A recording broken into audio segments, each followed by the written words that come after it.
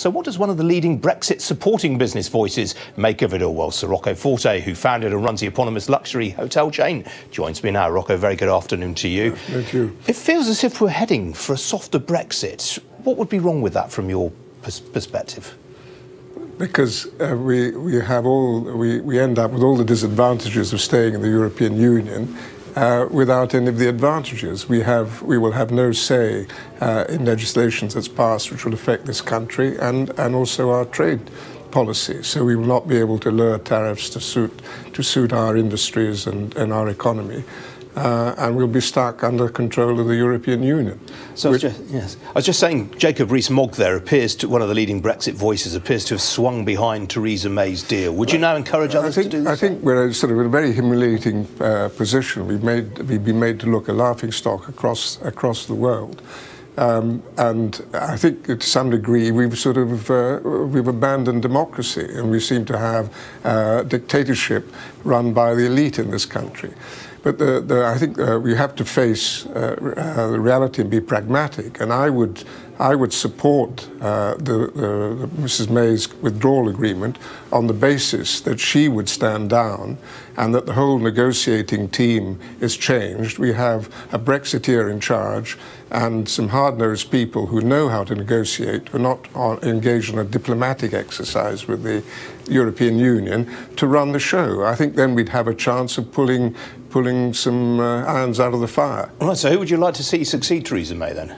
Well, I think there are a number, there are a number of candidates. At the end of the day, it's not for me to, to say which one is the right one. I mean, I think be, that's for members of parliament to decide. But I think there, uh, there's, uh, there's, uh, there's, always Boris, and, uh, and Dominic Raab is also, I think, a very good candidate. Of course, Dominic Raab didn't exactly cover himself in glory when he was Brexit secretary, did he? Well, I mean, he, he, he, had, uh, he was completely undermined, as his predecessor was. Uh, I mean, the, uh, this is Mrs. May's deal. It's all her fault at the end of the day. She kept uh, the cabinet in the dark. She, uh, she jumped Chequers on them. She undermined two Brexit secretaries who are carrying on developing their own, uh, their own uh, policies. with, and, and she, in an underhand way, secretly developed her own. I mean, one of the interesting points about the, all this is freedom of movement across the EU. It looks as though, obviously, a softer Brexit, we'd be under roughly the same rules as we are now. Do you not worry that your UK hotels, with a harder Brexit, the Balmoral in Edinburgh and Browns in London, would, would suffer a loss of workers under tougher rules? You know, we had, we had 274,000 of net immigration into this country uh, uh, last year. 74,000 was from the European Union. So three quarters of it was from on a controlled basis. We're going to continue to have immigration. Obviously, the, the rules have to be worked out, and, uh, and people coming in would have to uh, initially come in on a temporary basis uh, under, under, under work visas, something similar to the Swiss system uh, would probably work very well. British Hospitality Association, the, your main industry trade body, they are very fearful of what a what a hard Brexit would mean. No, I think they're they're working uh, they're working uh, uh, with the government. Uh, and, and, the Home Office to help develop the policy that will be put in place uh, once we leave.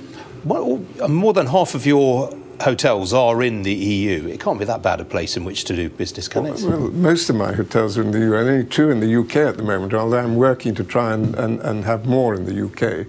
The, the, the, the, the reality uh, uh, is it's very difficult to do business uh, in, in, the, in the EU compared to Britain. Corporate taxes are higher, labour on costs are much higher, uh, bureaucracy is, uh, is much, makes things much more, uh, more difficult, and the unions are all powerful like they were here in the 70s. The, the, um, uh, so, but if, if you're a, an international hotelier with a luxury chain, you've got to be represented uh, in the major cities across Europe. So I have no option but to to work in those conditions. But I see the difference between those countries and this country, and that's why I'm so keen that we should leave the European Union. All right, Sir Rocco Forte, always a pleasure to have you on the show. Thanks for joining me. Thank you very much.